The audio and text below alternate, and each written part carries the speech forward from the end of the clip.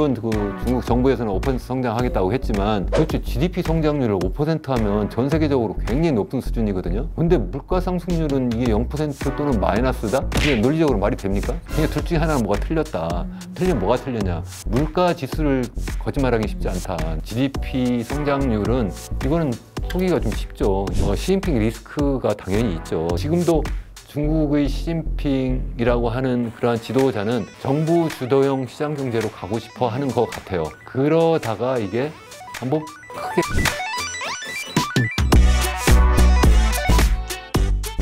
중국 경제가 상황이 안 좋다고 했는데 1분기 GDP 성장률이 5%를 넘었다고 발표했더라고요.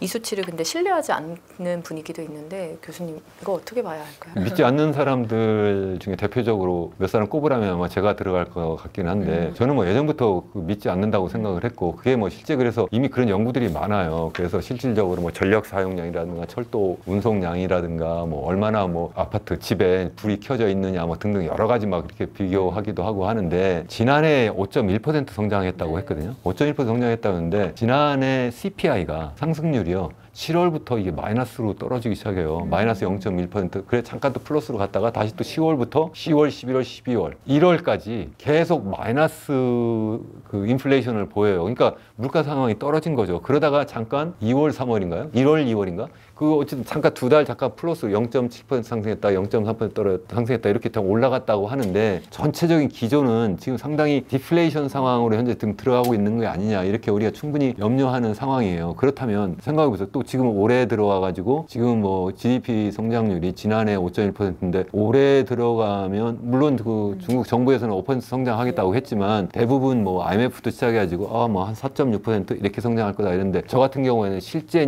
그 상황을 보면 그보다 못할 거다라고 생각을 하고 있는 사람인데 어쨌든 5% 성장했다고 이렇게 딱 얘기를 해버리니까 이 진짜일까 이렇게 보면 지난해부터 생각해 보면 도대체 GDP 성장률을 5% 하면 전 세계적으로 굉장히 높은 수준이거든요. 근데 물가 상승률은 이게 0% 또는 마이너스다? 이게 논리적으로 말이 됩니까? 그냥 둘 중에 하나는 뭐가 틀렸다. 틀리면 뭐가 틀렸냐? 물가 지수를 거짓말하기 쉽지 않다. 내가 볼 때는 도리어 이런 어떤 GDP 성장률은 이거는 속기가 좀 쉽죠. 그러니까 좀 부풀리기가 쉽다는 거죠. 지방 정부부터 이렇게 계속 통계를 계속 모으다 보면 중앙 정부에서 거짓말을 안 해도 지방 정부에서 당연히 부풀리를 좀씩 이렇게 하고 그러다 보면 이게 좀 집계하면 좀 커지지 않을까. 그래서 올해도 마찬가지로 그렇게 하고 있는 게 아닐까. 저는 그렇게 보는 게 합리적인 판단 아닐까.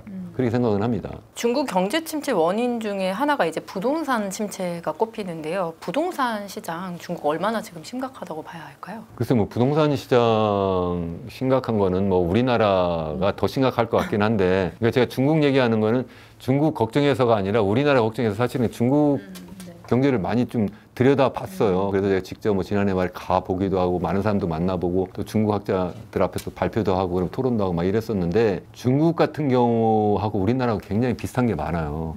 중국의 그 주택 가격이 물론 이렇게 뭐 상승 뭐 하락 이런 거 사이클이 있었는데 가장 최근 사이클로 보면 2015년부터 시작해가지고 상승하기 시작하는데 2021년 한 중반까지 한 세 배 정도 올라가거든요. 일선 도시 중심으로 한 세 배 정도 올라요. 뭐 북경이나 베이징이나 상하이 이런 일선 도시를 보면 한 세 배 정도 막 이렇게 올라가다가 그러다가 이제 이게 급격하게 이제 떨어지게 되는데 그렇게 떨어지게 되는 이유가 크게 보면 이제 두 가지 정도가 있어요. 하나는 뭐냐면 코로나 상황에서 사람들이 막 갇혀 있으니까 지금 당장에 뭐 먹고 살기도 힘든데 어떻게 뭐 모델하우스 가서 뭐 집을 사요? 못 사죠. 뭐 그러니까 그게 하나가 있고 또 한 가지는 뭐냐면 어 이게 너무 집값이 많이 뛰다 보니까 시진핑 정부에서 소위 내세운 게 공동 부유론인데 어 이 집값이 너무 뭐두배 세 배 뜨다 보니까 이 사회 양극화가 너무 심화된 거예요. 집을 갖고 있는 사람은 보니까 엄청나게 부자가 되고 갖고 있지 못한 사람 또 더군다나 이 소위 일선 도시 있는 사람들과 저기 지방에 있는 사람들하고의 또 이런 부의 격차도 엄청나게 심하니까 이건 공동 부유가 아니라 이거 완전히 양극화했고 완전히 사회가 불안한 상황이 될 것 같다. 그러니까 이건 안 된다 해서 부동산 기업들을 소위 개발 회사들, 부동산 건설 회사들을 때려잡기 시작을 했잖아요. 그래서 뭐 여러 가지 뭐 규제책을 막 내세웠는데 뭐 세 가지 레드라인 정책 해가지고 뭐 이러이러한 조건 안 되면 절대로 돈을 너희들한테 빌려줄 수 없다부터 시작해가지고 이렇게 하면서 계속 옥죄고 있는 상황에서 또 수요까지도 이제 제대로 코로나 상황에서 이게 증가할 수 없는 상황이 되니까 이게 막 떨어지기 시작을 하게 된 거죠. 이게 뭐 지난해 초부터 시작해가지고 소위 이제 코로나 상황이 거기서 이제 완전히 이제 봉쇄를 다 풀어버렸잖아요. 그러니까 다시 살아날 줄 알았는데 사람들이 보니까 3년 동안 완전히 갇혀 있다가 이제 딱 풀려나가니까 잠깐 반짝해가지고 뭐 보복 소비 잠깐 하긴 했는데 보복 소비한다고 집을 사겠어요? 아니지. 내가 지금 여태까지 갇혀 있다가 내가 지금 엄청나게 고생했는데 지금 잘못하다가 이게 큰 사고 나겠다. 그래서 사람들이 도리어 저축을 더 많이 하고 또 최근에 뭐 금 사고 또 그것도 부족하면 외국으로 돈을 빠져나가게 도망가려고 하고 있는데 어떻게 그 엄청난 부동산에다 돈을 다시 옛날처럼 넣을 수 있을까? 굉장히 어렵다는 음, 거고요. 또 뿐만 아니라 중국의 정부, 공산당부터 시작해가지고 정부가 부동산 경기를 이렇게 막 본격적으로 옛날처럼 막 띄워가지고 그래가지고 중국을 갖다가 뭐, 어, 소위가 시멘트 경제를 만들려고 하지 않고 있는 거라고 저는 생각을 해요. 그런 면에서도 부동산 경기를 살지 않고 또 그래서 부동산 경기가 살아서 건설 경기가 막 살아서 그래가지고 경기를 살리는 그러한 일은 없을 거다. 저는 그렇게 생각은 합니다. 중국이 노동절 연휴를 이제 계기로 내수 활성화에 총력전을 벌이고 있다고 하는데요. 중국의 내수 살리기가 뭐 얼마나 효과를 볼 것으로 예상하실까요? 내수라고 하면 지금 말씀드린 것처럼 이제 건설 투자도 하나의 내수는 내수예요. 크게 보면 GDP에서 보면 수요 측면에서 보면 내수하면 소비 수요가 있고 투자 수요가 있거든요. 그거 말고 정부가 하는 정부 지출 수요가 있어요. 근데 그건 뭐 논외로 치고 민간 내수라 하면 그러면 이제 투자와 소비가 있는데 소비는 좀 전에 말씀드린 것처럼 사람들이 코로나 상황에서 이제 풀려났는데 사람들이 그때 정부가 뭐 전혀 보조금도 안 주고 뭐 완전히 내가 거기서 갇혀 있다가 고생 바가지로 하고 나왔는데 그게 돈이 생기면 그거 가지고 쓰려고 하지 않고 저축하려고 하고 금 사고 외국으로 돈을 빼돌리려고 이렇게 하는 그러한 상황이 돼버리니까 내수가 살기가 굉장히 힘들 거다 하는 거고 GDP 대비 한 38%에서 한 40% 정도 돼요. 약간 40%가 안 돼요. 우리나라 같은 경우는 한 50% 되고요. 미국 같은 경우에는 그게 70% 정도 가까이 되거든요. 미국은 엄청나게 소비 주도형 그런 경제인데 중국은 그렇지도 않은 상황에서 소비가 안 산다는 거고 반대로 중국은 이 투자를 굉장히 그 중요시하는 나라예요. 그래서 투자가 도리어 40%가 넘어요. 한 42% 이렇게 수준이 되는데 이거는 자본주의 시장 경제를 하는 나라에서는 도대체 볼 수 없는 그러한 상황이에요. 그러니까 중국이 사회주의 계획 경제를 시작했다가 개혁 개방한다고 하면서 사회주의 시장 경제를 바꿨지만 기본은 사회주의고 공산당 일당 독재예요. 그러니까 소비 주도로 해가지고 경제를 살리려는 생각은 제가 볼 때 일도 없어요. 일도 없고 어떻게 되느냐 하면 무조건 산업을 키워야 되겠다. 산업을 키우려니까 투자를 키워야 되겠다. 투자가 그 속에 보면은 좀 전에 말씀드린 건설 투자가 있고 그다음에 설비 투자 플러스 R&D 투자가 있어요. 중국의 경우에 내수를 키운다고 한다면 그게 건설 투자도 아니고 소비 수요도 아니고 소위 얘기하는 그 R&D 투자 아니면 설비 투자 쪽으로 많이 유도를 하지 않을까. 물론 그렇다고 저쪽 전혀 안 한다는 건 아니고요. 일부 뭐 이렇게 소비 쿠폰도 주고 뭐 이렇게 하고는 있는데 이렇게 많이 살리려고 하지는 않을 거다. 그럼 남은 게 그럼 뭐냐? 외수거든요, 외수. 수출이 잘 돼야 되거든요.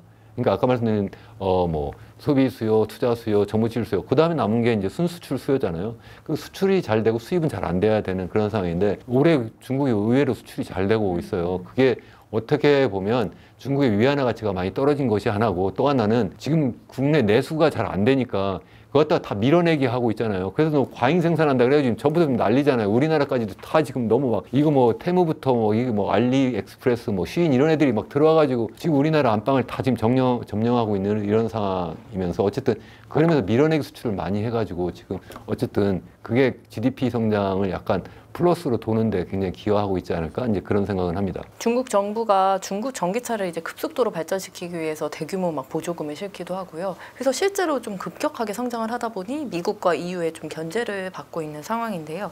이런 현상이 중국 경제에 장기적으로는 뭐 어떤 뭐 도움이 될 수 있을까요? 전 자본주의 시장 경제를 믿는 사람이긴 하지만 너무 우리나라가 자원도 없는데 음. 소비 주도형 경제를 한다든가 음. 아니면 뭐 건설 투자 주도형 경제 성장을 하면 안 된다고 생각하는 사람이에요.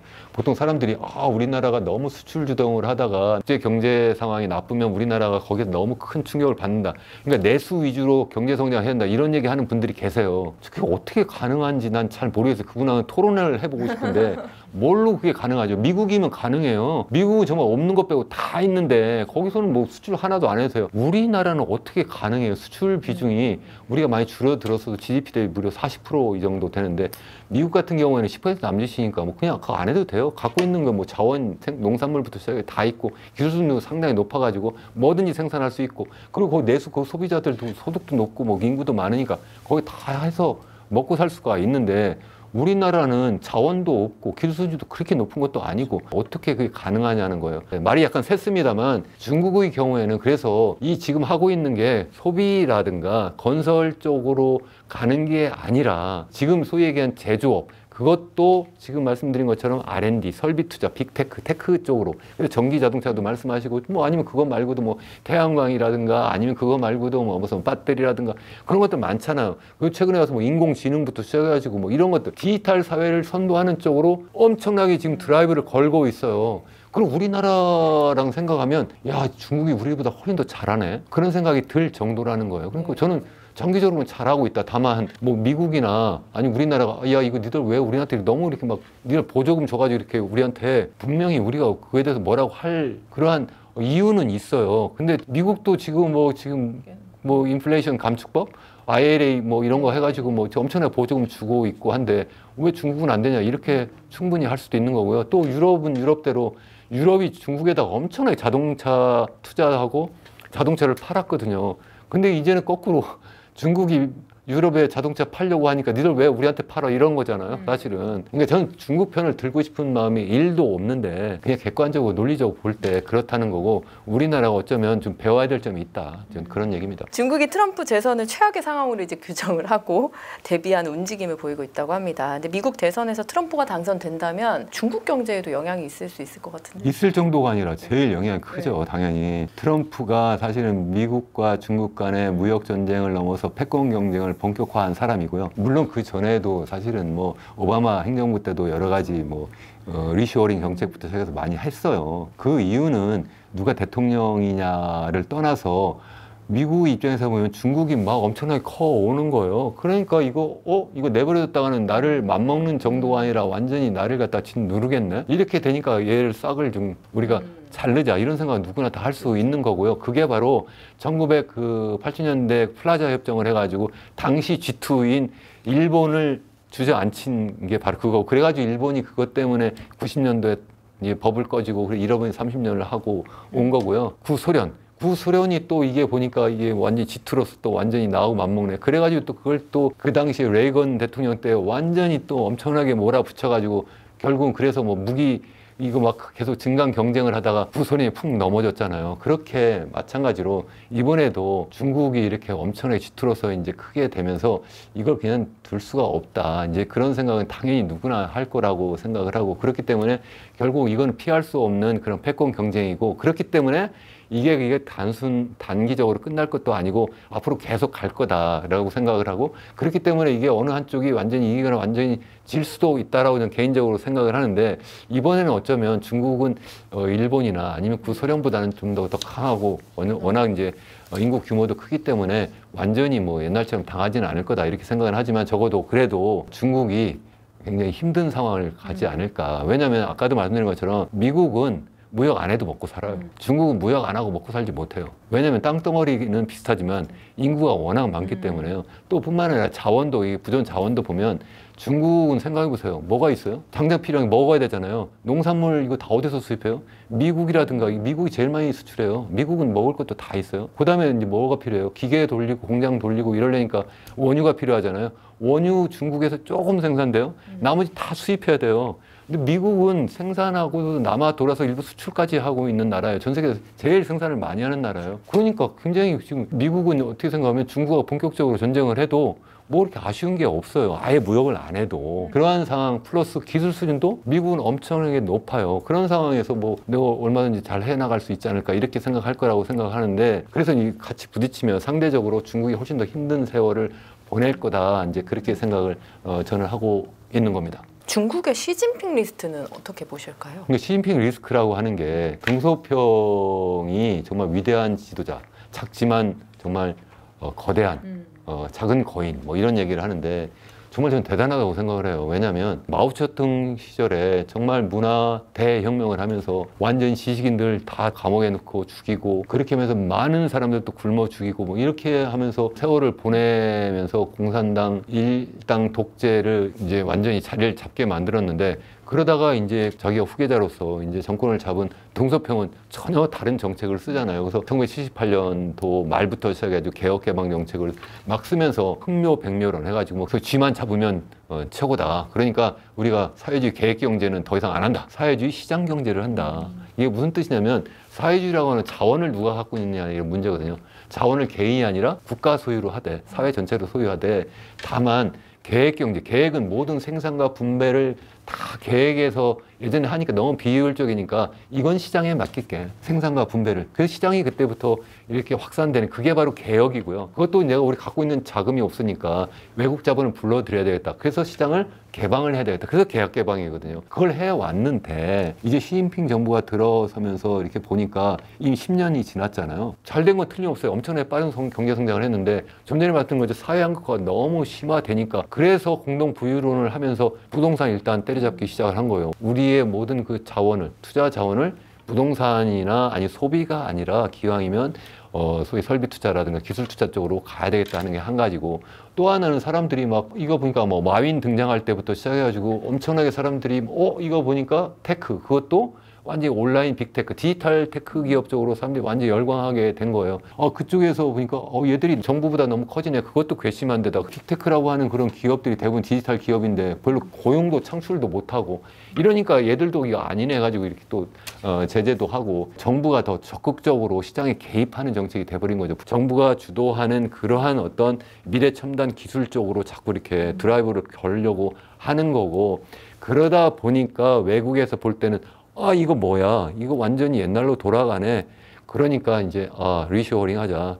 아니면 어, 디커플링 하자. 이제 완전히 우리는 중국으로부터 떠나야 되겠다. 이런 생각을 하고 그러니까 중국 입장에 생각하면 자금이 좀 아무래도 예전처럼 이렇게 많이 들어오지 않는 그런 어려움은 있겠죠. 그러나 전 세계에서 외환 보유가 가장 많은 나라가 또 중국이에요. 사실 돈 많아요. 돈 많아서 사실은 뭐 이미 그 미국 국채 갖고 있는 것도 많이 팔긴 했지만 더 계속 팔고 자금은 난 있을 거라고 생각을 하는데 어쨌든 그래서 계속 어, 시진핑 리스크가 당연히 있죠. 있는데 저는 그래서 뭐 예전처럼 돌아가는 게 옳다고 생각하지 않아요. 마치 우리나라 1997년 외환위기 겪을 때도 지금 중국하고 비슷한 거예요. 정부가 드라이브를 걸- 정부 주도형 시장 경제였거든요. 지금도 중국의 시진핑이라고 하는 그러한 지도자는 정부 주도형 시장 경제로 가고 싶어 하는 것 같아요. 그러니까 모든 걸 시장에 맡기지 말고 정부가 주도해서 그래도 방향을 틀어서 이렇게 간다.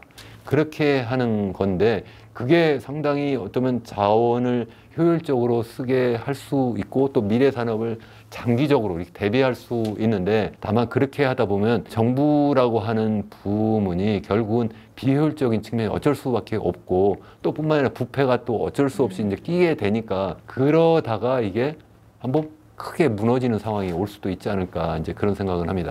과연 우리나라가 과연 어떻게 생산 동력을 예전처럼 빠르게 잡아갈 수 있을까? 실제 우리나라의 GDP 성장률 연간 GDP 성장률 장기 추세를 보면요.